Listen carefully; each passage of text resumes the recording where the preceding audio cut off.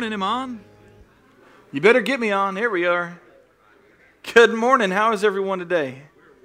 Hey, let me tell you, uh, you may be happy to be in church this morning, but I don't know if you're as happy as I am. Praise the Lord for your prayers. Thank you so much for your prayers for uh, the Simpsons. Uh, we've been out of church for nearly three weeks. And uh, boy, that just, you can't abide that when you're a preacher. And so it's uh, uh, we're very blessed to be here. I wasn't sure it was going to happen. Brother Lester had one in the hole. Um, our circumstances kind of dictated, seemed like dictated that we were going to have to get tested today. Today is 10 days since our last test. And so this morning we were up at the testing facility at too early in the morning and uh, to get our brains tickled and um, negative. Praise the Lord. Amen. And so we're glad to be here. Thank you. Hey, Nathan, I didn't ask you. Is it okay if I share your news you shared with me yesterday? Y'all been praying for Nathan. Uh, Nathan is uh, had surgery about six weeks ago, five, maybe four or five weeks ago, maybe now that I think of it. Um, had a major surgery on his uh, intestines, and, um, and that was a very successful surgery, and y'all probably know a good bit about that. But there was still one little question about uh, whether or not he still had maybe a version of colitis or Crohn's disease. And yesterday, he uh, earlier this or later this week, he got a call from his doctor and uh, confirmed that they don't believe he has Crohn's. So praise the Lord, Amen.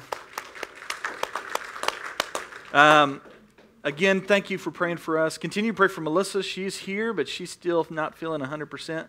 And so she's, but 85% of Melissa is like 1,000% Darren. So, um, so thank you for praying for us. Continue to pray for her.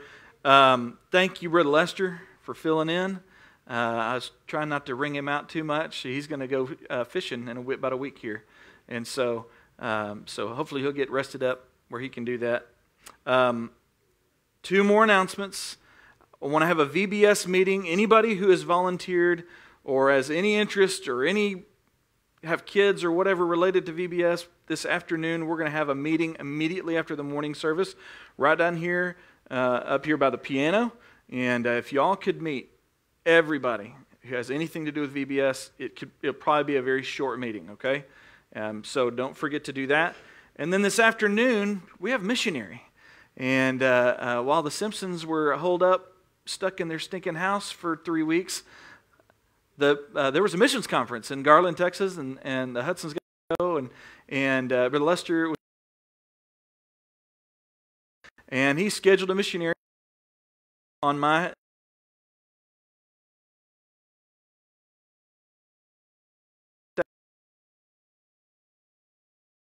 Leave a protege or, or uh, a spiritual descendant of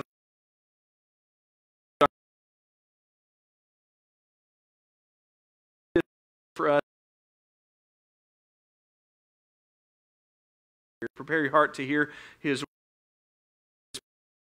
prepare to hear the preaching of his word of the word from, uh, uh, uh, from this man, and then prepare if God leads you to give and support this man. Uh, we may look at him. We have an opening uh, for a, a, to add a missionary to our uh, supporting ranks, and and we're going to be praying about that. But today is still an opportunity to support this man and give him a good offering. And so pray about how you might do that. Amen. Let's worship. Let's stand together. And uh, I'm going to I'm gonna open prayer, and Brother Eric is going to lead us. Dear gracious Heavenly Father, Lord, thank you that we're here. Lord, thank you for our health. Thank you for um, uh, our liberty and our freedom to do this openly um, with all the uh, and all the resources you give us to, to do this and to do it as well as we can. I pray you bless this service, bless our worship today. I pray it'll be a sweet smelling savor to you. Lord, I pray you be with me as I preach. Lord, I'm all charged up and tired at the same time, but God, you're the Holy, you're a God, and, and uh, I just want to be your vessel today. In Christ's name I pray. Amen.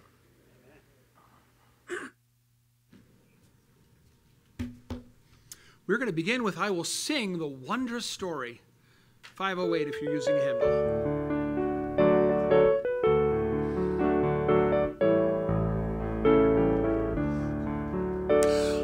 Will sing the wondrous story of the Christ who died for me.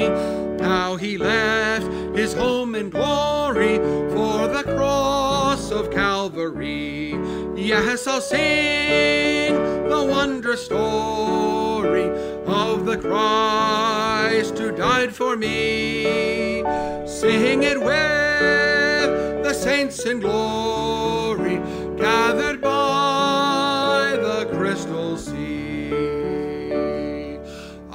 was lost, but Jesus found me, found the sheep that went astray. Threw his loving arms around me, drew me back into his way. Yes, I'll sing a wondrous story.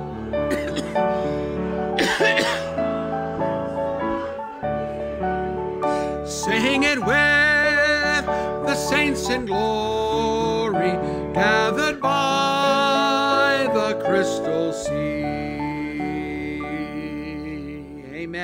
We're going to continue our worship singing the heart of worship.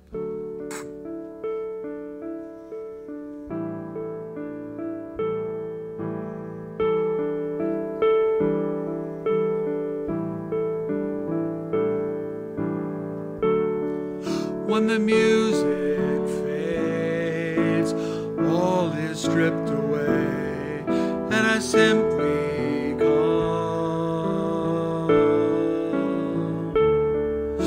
longing just to bring something that's of worth that will bless your heart. I'll bring you more than a song for a song in itself is not what you have required. You search much deeper way things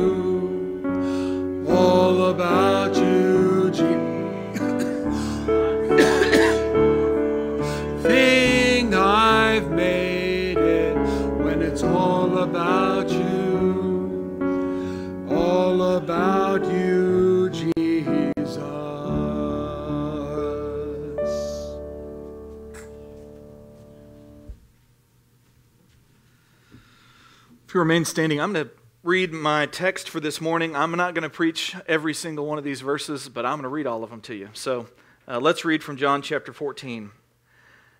Jesus says to his disciples, Let not your heart be troubled. You believe in God, believe also in me. In my Father's house are many mansions. If it were not so, I would have told you. I go to prepare a place for you. And if I go and prepare a place for you, I will come again and receive you unto myself, that where I am, there you may be also. And whither I go, you know, and the way you know. And Thomas said unto him, Lord, we know not whither thou goest, and how could we know the way? And Jesus saith unto him, I am the way, the truth, and the life. No man cometh unto the Father but by me. If ye had known me, you should have known my Father also, and from henceforth you know him and have seen him. And Philip saith unto him, Lord, show us the Father, and it sufficeth us. And Jesus saith unto him, Have I been so long time with you, and ha- yet hast thou not known me, Philip? He that hath seen me hath seen the Father. And how sayest thou then, Show us the Father? Believest thou not that I am in the Father, and the Father in me? The words that I speak unto you, I speak not of myself, but the Father that dwelleth in me, he doeth the works. Believe me that I am in the Father, and the Father in me, or else believe me for the very work's sake. Verily, verily, I say unto you, he that believeth on me, the works that I shall I do shall he do also, and greater works than these shall he do, because I go unto my Father. And whatsoever ye shall ask in my name, that will, will I do, that the Father may be glorified in the Son. If ye shall ask anything in my name, I will do it. If ye love me, keep my commandments. And I will pray the Father, and he shall give you another comforter that, you may, that he may abide with you forever, even the Spirit of truth, whom the world cannot receive, but it seeth him not, uh, because it seeth him not, neither knoweth him, but you know him, for he dwelleth with you, and shall be in you. I will not leave you comfortless, I will come to you. Yet in a, a little while, and the world seeth me no more, but you see me, because I live, you shall live also. At that day ye shall know that I am in my Father, and ye in me, and I in you. He that uh, hath my commandments and keepeth them, he it is that loveth me, and he that loveth me shall be loved of my Father, and I will love him, and will manifest myself to him. Judas saith unto him, not to Iscariot, Lord, how is it that thou wilt manifest thyself unto us, and not unto the world? And Jesus said, and answered and said unto him, If a man love me, he will keep my words, and my Father will love him, and we will come unto him, and make our abode with him. He that loveth me not keepeth not my sayings, and the word which ye hear is not mine, but the Father's which sent me. These things have I spoken unto you, being yet present with you. But the Comforter, which is the Holy Ghost, whom the Father will send in my name, he shall teach you all things, and bring all things to your remembrance, whatsoever I have said unto you. Peace I leave with you, my peace I give unto you. Not as the world giveth, give I unto you. Let not your heart be troubled, neither let it be afraid. You have heard now, uh, you have heard how I said unto you, I go away and come again unto you. If you loved me, you would rejoice, because I said, I go unto the Father, for my Father is greater than I. And now I have told you before it come to pass, that when it is come to pass, you might believe. Dear gracious Heavenly Father, thank you so much for your word. Thank you for the comforter and for your comfort and your love. Lord, thank you for how you show up and show off in our life and and, and God, I just pray as we continue in our worship that our minds will be drawn to focusing on you, focusing on your provision in our life, focusing on how you provided a Savior and eternal salvation for us through Him. Lord, I pray you just help us to feel blessed today, comforted and encouraged. Lord, I pray for this offering we're about to receive, and, and I pray you just help us to uh, give freely, trusting in you. Lord, we love you and we praise you. In Christ's name I pray. Amen.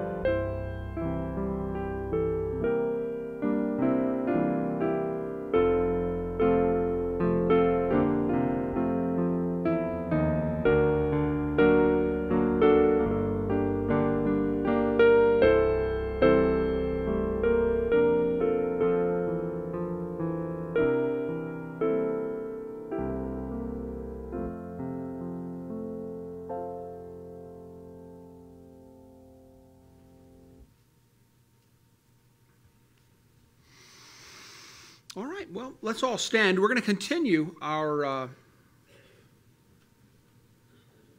what did I do here? Sorry. The number is 530, and I turned to 350. I just couldn't get that to work. So we're singing Saved, Saved.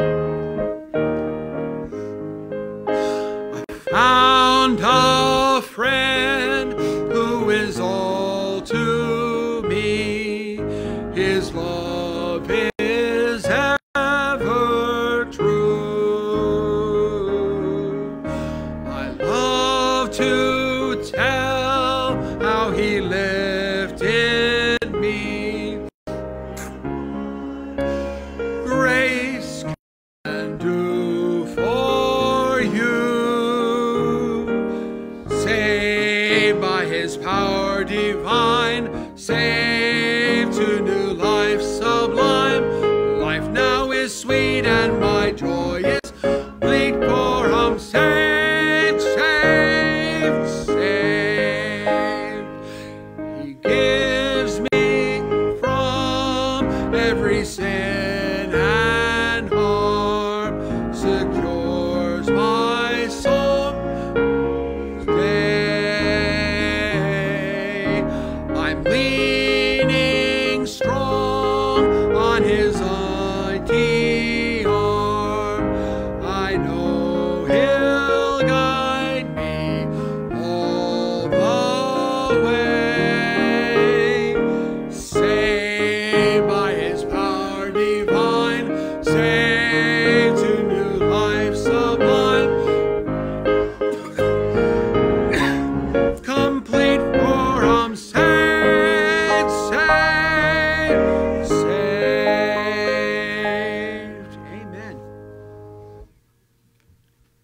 Sometimes the computer is going to have a day. Don't let that distract you from worship. Amen. We're going to continue. We're going to finish our worship with number 505 Love Lifted Me.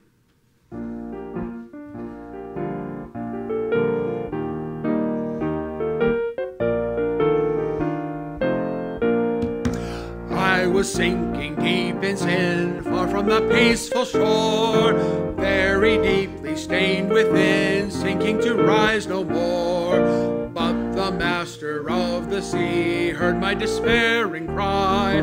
From the waters lifted me, now safe am I. Love lifted me, love lifted me. When nothing else could help, love lifted me,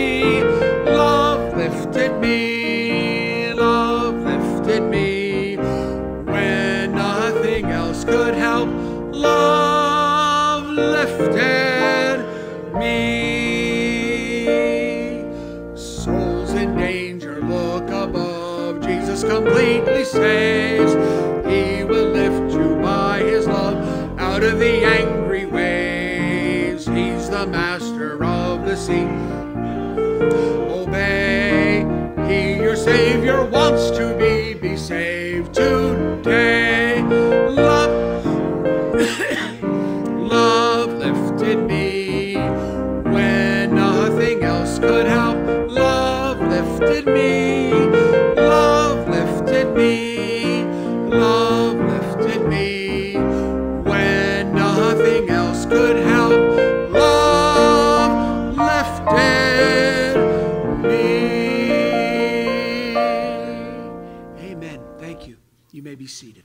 Brother?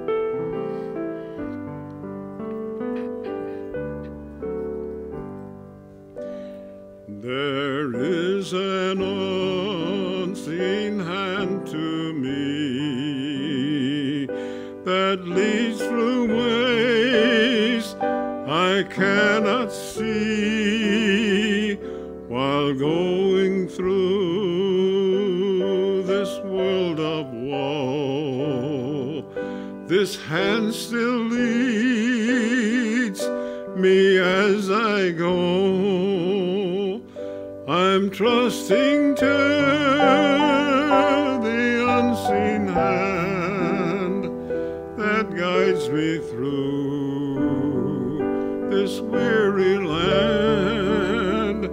And some sweet day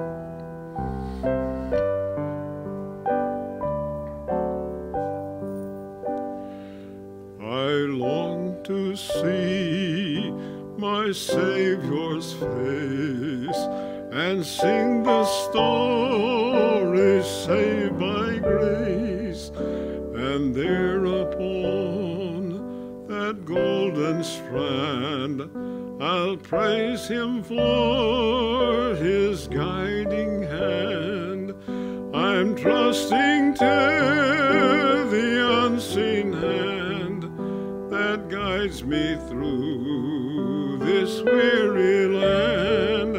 And some sweet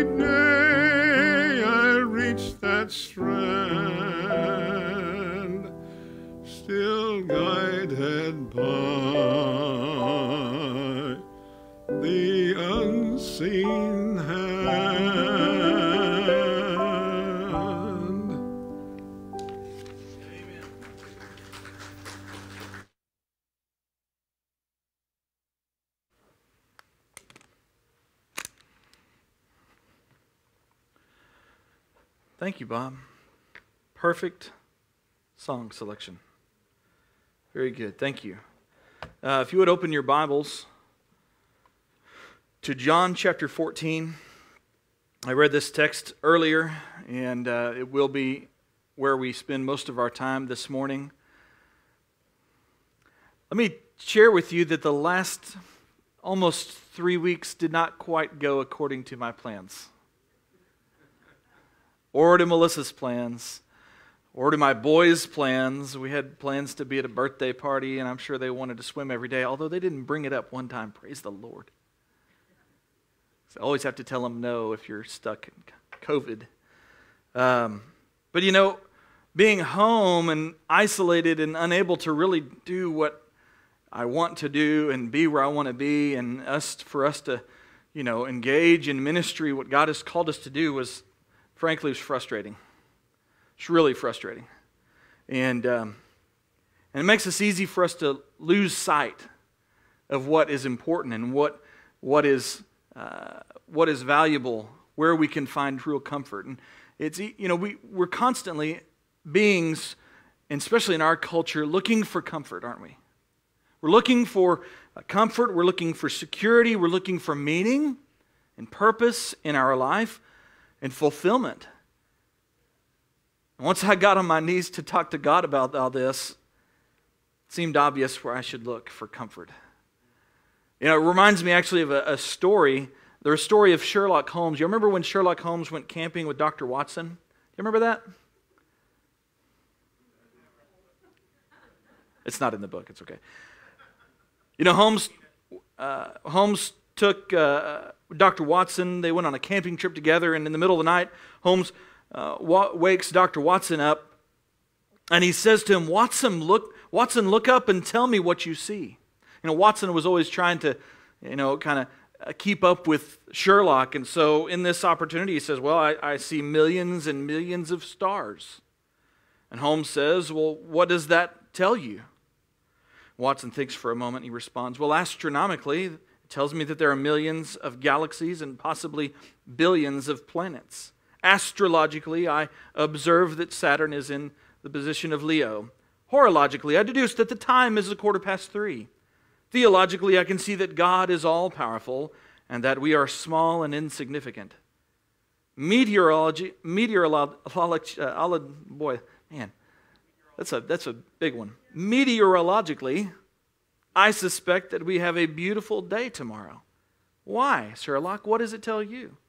Holmes was quiet for a second, and then he said, Someone has stolen our tent. There's times when we miss the obvious, isn't there? When what we need is right in front of our eyes. And if we would just open them, if we would just calm down, quit looking around us everywhere else, we might find exactly what we need. As we read this text earlier, I hope to noted that Jesus was answering some pretty big questions in this chapter, uh, John chapter 14. I mean, look at John 14, 5. Thomas said unto him, Lord, we know not whither thou goest. How can we know the way? And Thomas is concerned about the way, that the way might be unknown to, his, to Jesus' disciples, that they might not be able to find Jesus uh, after he leaves them. Then Jesus gave answer to Philip's statement in John 14, 9 through 11. He says, it says, Jesus saith unto him, Have I been so long with you, and yet hast thou not known me, Philip? Well, there's a whole sermon in these two, two or three verses, by the way. He that, sa- he that hath seen me hath seen the Father. And how sayest thou then, Show us the Father? Believest thou not that I am in the Father, and the Father in me? The words that I speak unto you, I speak not of myself, but the Father that dwelleth in me. He doeth the works. Believe me that I am in the Father, and the Father in me, or else believe me for the very works' sake. Thomas was confused.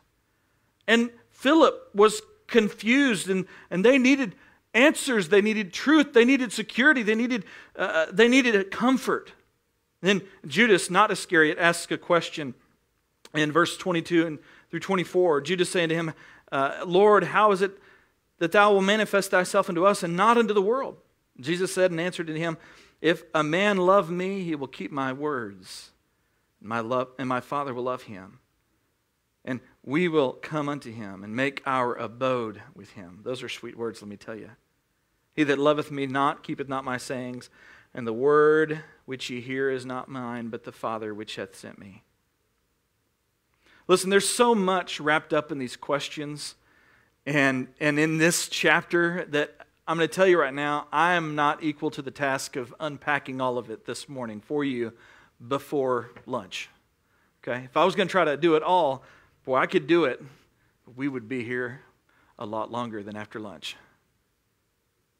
But what I want you to see today that Jesus here with his disciples, he's sincerely trying to reveal to them truths, truths that should comfort them throughout the long and difficult life that they're going to live as true followers of Christ. He wants to give them comfort. My sermon title this morning is Comfort for Our Everyday. Comfort for today. Jesus wanted his disciples to have exactly what they needed. He wanted them to have what everybody needs and searches for comfort, satisfaction, fulfillment, security. Let me tell you this morning, as clearly as I can, that Jesus is all that you need. Jesus is all that you need. He's all that you need in this life right now and in the life to come. He's all that you need. So look at me this morning, look with me, excuse me, at three important truths that are of inexpressible comfort in John chapter 40, uh, 14. The first one is that there's a house that Jesus talks about.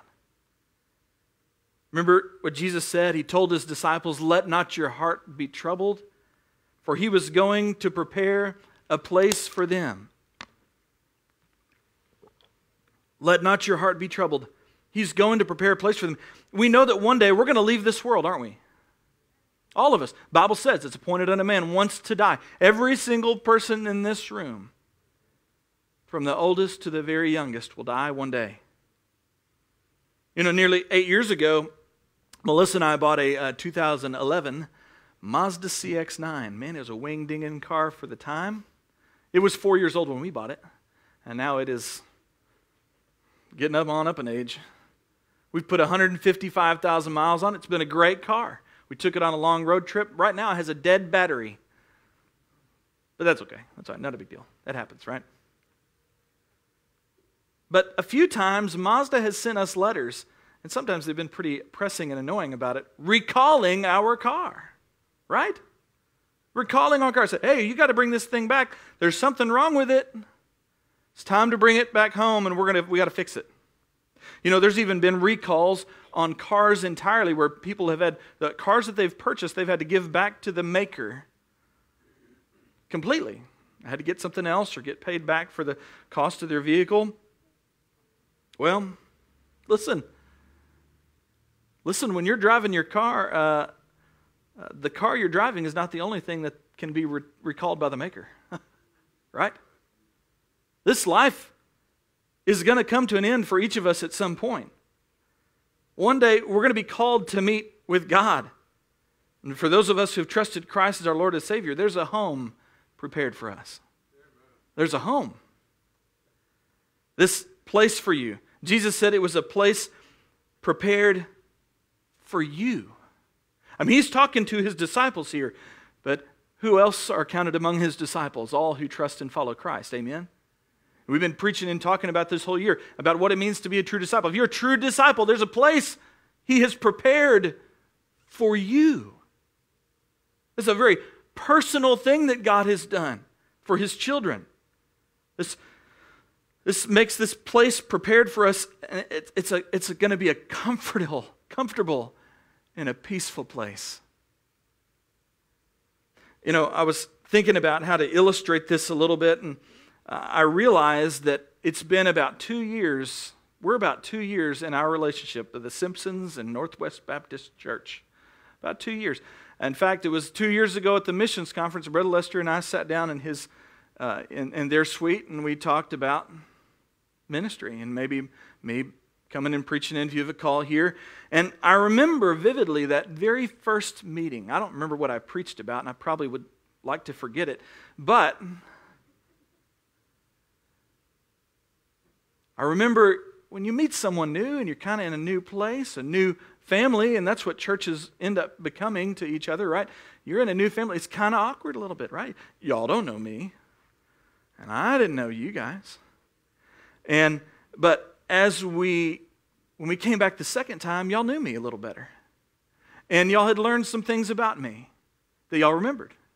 And y'all prepared some snacks for us. And you remembered what my kids enjoyed. And y'all bought them gifts. And, and what you were doing in your wonderful hospitality that we hope I will, y'all will never lose is y'all were preparing a place for us, a place of comfort. You were trying to make us feel at home. Let me tell you, God is preparing a place for you and a home that is unlike any other home you've ever experienced. And when we die, we will truly be at home with Christ. Think about that we're talking about the place that He's preparing for you. What about the preparer of this place? Who, who is preparing this place again? It's Jesus. He, he didn't say that the angels were preparing a place for us, but that He was going to prepare a place for us. Think of that. Just think about that. Who is personally preparing a place for you? Jesus is.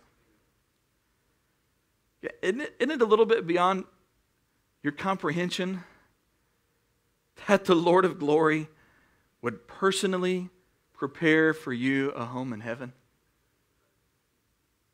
uh, my imagination, I have a vivid imagination. My boys, Ben especially, comes by it naturally. If you ever spend much time around Ben, he's got a wild imagination. But you know, as soon as I learned and connected the dots that Jesus was going to prepare a place for you, and in my Father's house are many mansions, you know what I thought of? Jesus was a carpenter. He knows how to prepare a good place. And He's doing that personally for us. I don't know if He's got heavenly hammers and nails, but He's doing it personally for you. The one who built the universe is preparing a place for you and for me. And there's one piece to this, this home that he's preparing that's even greater than having this eternal place to live. And that's no, and knowing that Jesus has prepared it. Jesus is preparing this place as a perfect place to, to be in quarantine. Praise the Lord. Amen. If y'all have spent, if any of y'all have spent any time in quarantine, that much time alone will drive you bonkers. And Jesus isn't preparing this place for you to be in quarantine alone for eternity. No, Jesus, uh, Jesus is preparing this place so that he can be with us. He said, And I go and prepare a place for you, and I will come again and receive you unto myself, that where I am, there you may be also. I mean, how do we even take all that in? That, especially with the thought that we're going to be the very company of our Redeemer, of our Savior, of the, of the God of the universe. Who in Colossians it says he by him all through all him through him all things consist everything is held together by jesus this incredibly important individual the one who stands alone in all of history and all of creation above creation beyond creation is going to be with us. It's personally made a place for us. That's the first uh, uh, important truth. The second, think about the second part this passage would be the way to this home. You know, Thomas had that concern uh, from the moment Jesus began to talk about going away. Remember, Jesus said, I, uh, let your hearts not be troubled. He's trying to give them comfort. He says, I'm going to leave and, and I'm going to prepare a place for you. And, and Thomas, he had this concern, his concern centered on the way to the home Jesus was promising to him. How are we going to, how are we going to find you, Jesus? And, and it makes sense why Thomas would feel this way, why he would think this way. I mean, after all, if you lost your way trying to find uh, the place that Jesus promised, you would have no hope of ever finding it on your own, would you? And Jesus spoke very specifically when he said, I am the way. He's telling, he's answering this question I am the way, the truth, and the life. No man cometh unto the Father but by me. Well, let's, let's take a little bit and just kind of unpack some truths buried in this statement. He said, He is the way. And he said that, he said, He is the way so that you could be saved. Listen, despite what many believe, Jesus wasn't just a great teacher sent to show us some way, to show us some truths, and to give us some life. No, Jesus is the only way that anyone can be saved from the judgment of sin. He is the way. There's not two ways. There's not three ways. There's not a thousand ways to, uh, to the home God promises. Jesus is the only way to heaven. We read in Acts 4:12, neither is there salvation in any other, for there is none other name under heaven given among men whereby we must be saved. Listen, in today's humanistic society with little knowledge or understanding of what true Christian faith is, this world believes that the diversity of religionism in America is due to the fact that all religions lead to the same place. They say, "Oh yeah, we're just trying to get to the top of the mountain, but there's many ways to get up there."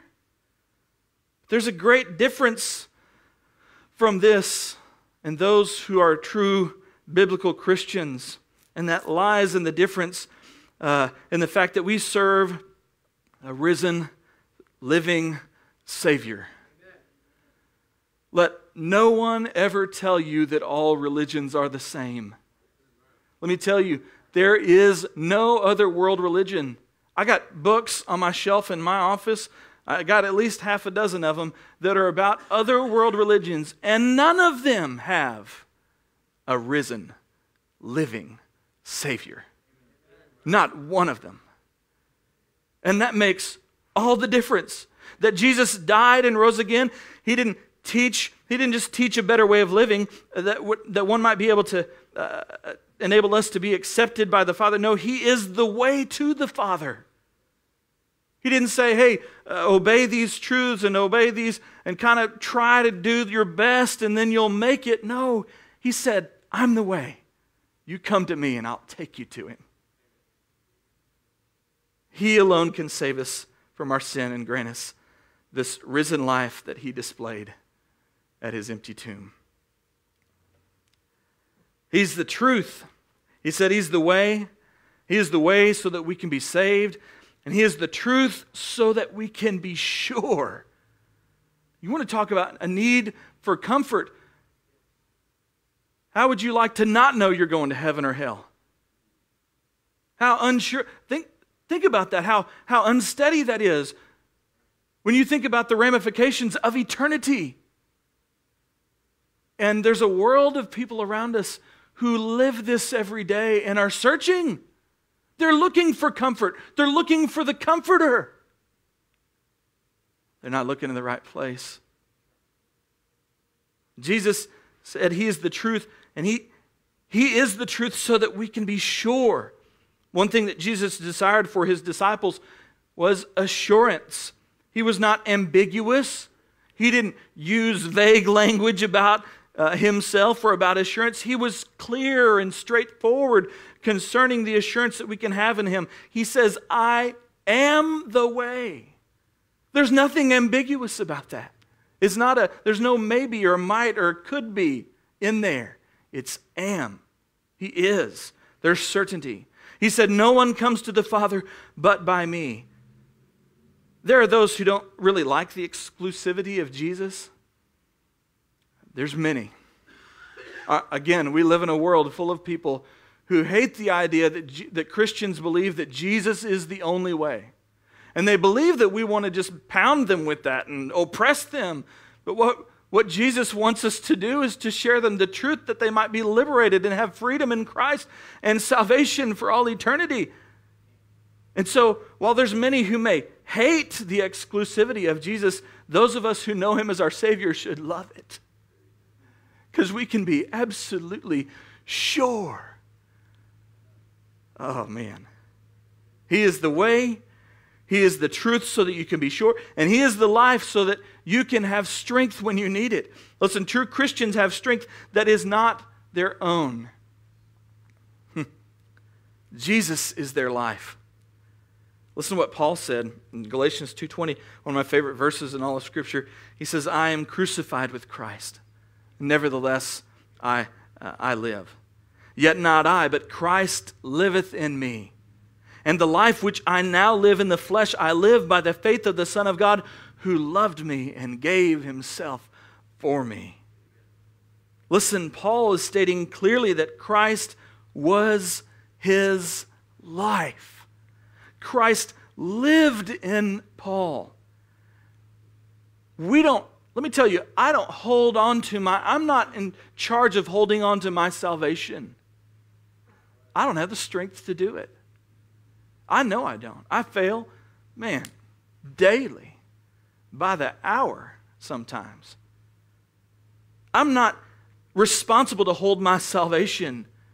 Jesus, though, he holds us in our salvation. The writer uh, to the Hebrews wrote these words in chapter 6, verse 19. He said, Which hope we have as an anchor of the soul, both sure and steadfast, and which entereth into that within, uh, within the veil. So, what hope is he talking about? The hope, this living hope in our lives. Paul spoke of this living hope in 1 Peter uh, 1 3 through 5. He said, Blessed be the God and Father of our Lord Jesus Christ, who according to his abundant mercy hath begotten us again unto a lively hope by the resurrection of Jesus Christ from the dead to an inheritance incorruptible and undefiled and that fadeth not away, reserved in heaven for you, who are kept by the power of God through faith unto salvation, ready to, revealed, uh, to be revealed in the last time. Whoever thought that Peter could have written so well? Listen, he is the life that gives us strength. He's the strength that we can rely on. It's His power, it's through His power that we live and that we can live the life He's called us to live.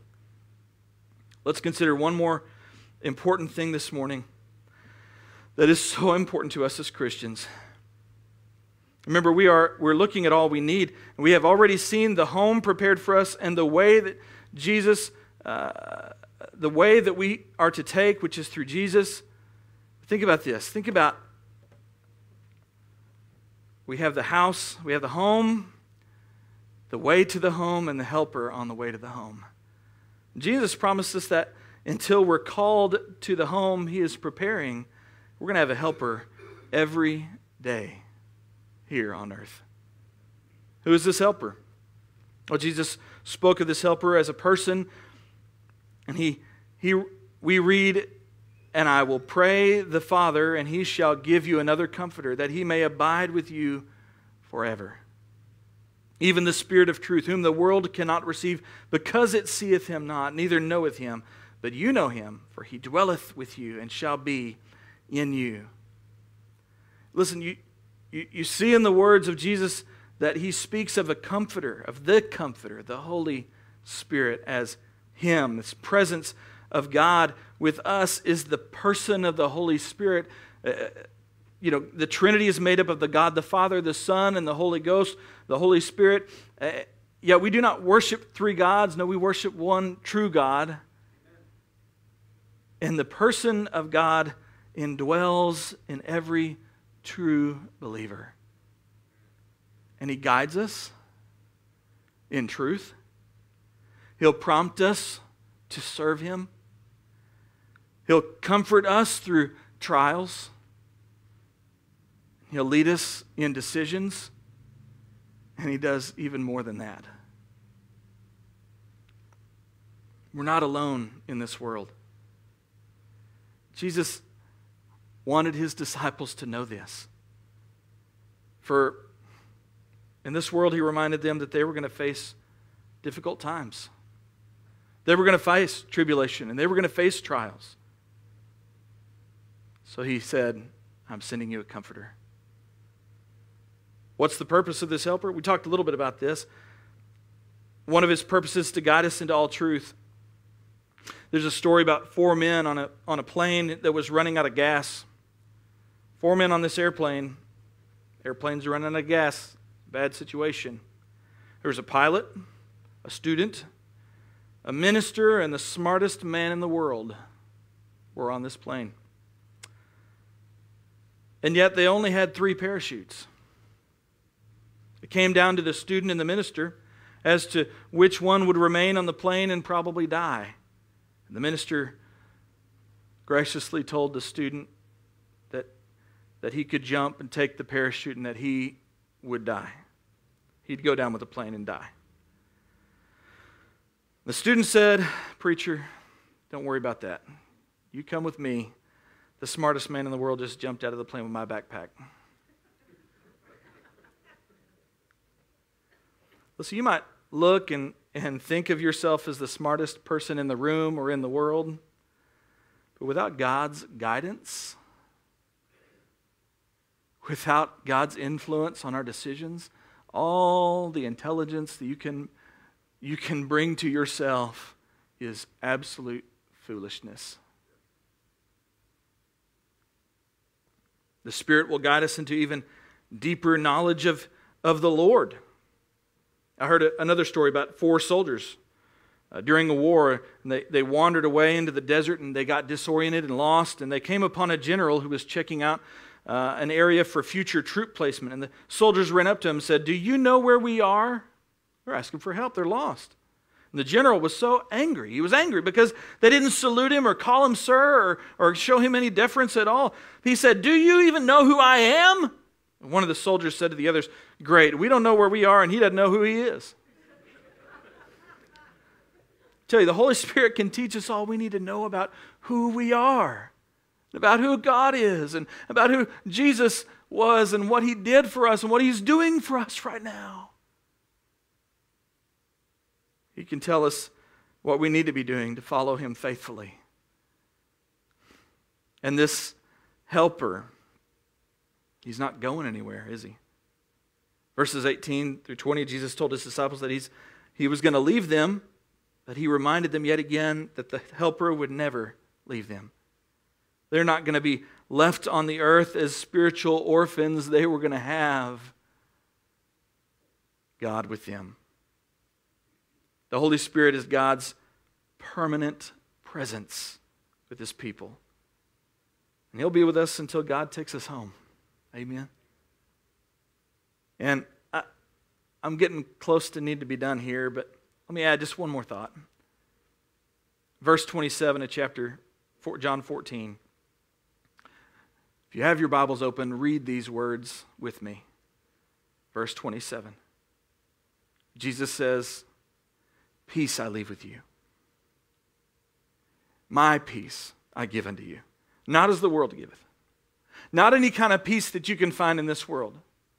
Not any kind of hope or, or satisfaction or fulfillment that you can find in this world. He said, It's my peace that I'm going to leave with you. And you can't find it anywhere else. Let not your heart be troubled, neither let it be afraid. Jesus was letting the disciples know that the peace of God was going to go with them even after he'd gone away. And there's, there's really so much we could say about the peace of God. I could take you to Philippians, one of my favorite passages, chapter 4, and talk about how the peace of God will guard our hearts. There's so much to say, but, but Jesus, the point is that Jesus doesn't want to live in anxiety in this world. That's such a huge, isn't that such a huge and growing problem in our society?